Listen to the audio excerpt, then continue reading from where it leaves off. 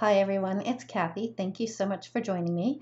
I'm here today with another product reveal and today I will be sharing with you the Animal Tiles stamp set. It is a clear 4x6 stamp set.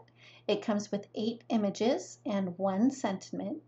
Each of the little images measures approximately one and one quarter inch by one and one quarter inch.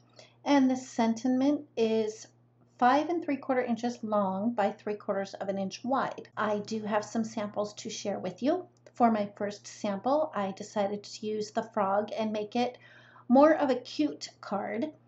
And I paired that up with the scalloped circle frame die set, which it's kind of hard to see here, but you can definitely see it in the still photo at the end of the video. For my second sample, I decided to go with a more masculine tone, I guess it would be by using the koi fish, which paired perfectly with the Scribbles background stamp. And then for my third card, I decided to go with more of a pretty look by using the lily pad and the lotus flower.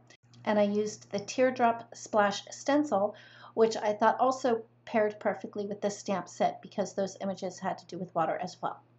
Anyway, that wraps up this reveal video. Thank you so much for joining me. For more information, I'll have all of that linked in the description box below for you. For more inspiration, make sure you head on over to the Whimsy Stamps blog. We'd also love to have you follow us over on Instagram and join our Facebook group. Thanks again, and we'll see you next time.